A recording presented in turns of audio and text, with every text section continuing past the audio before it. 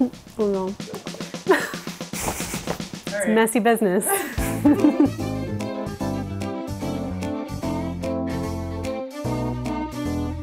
So everyone is fighting on Twitter, which is nothing new, but today it's about fried chicken sandwiches. Popeyes just released its new fried chicken sandwich. It has pickles, it's on a brioche bun, which should sound pretty familiar to you because it's something that Chick-fil-A has been doing for a long time. And Shake Shack also has its own fried chicken sandwich. So we're gonna try all of them and see which one is actually the best. So here we have the classic Chick-fil-A sandwich pickles, fried chicken, it's brined in pickle brine. They've been kind of the leader in the chicken sandwich realm for a long time. Look how sad this bun is. The buns are always really flat and like limp looking. I don't really understand it. It's very salty.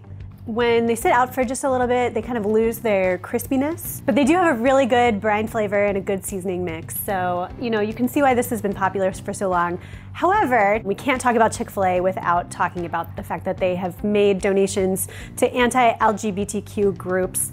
And so for that reason, a lot of people want to avoid Chick-fil-A right now. And that's why it's great that there are so many alternatives. Next up, we have the Shake Shack chicken sandwich. The Chicken Shack is what it's called.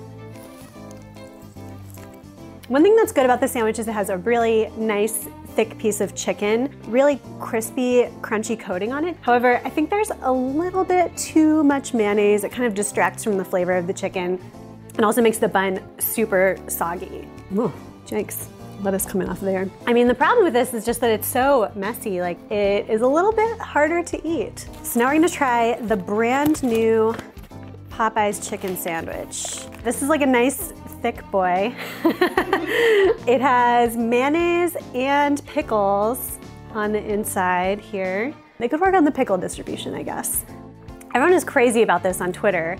People say that the Popeye sandwich will ruin Chick-fil-A, so we'll see if that's true. Hmm. it's a lot of chewing.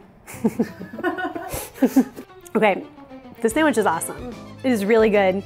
It is so much crunchier than the other two. The breading is like really thick and crispy. It's not too oily.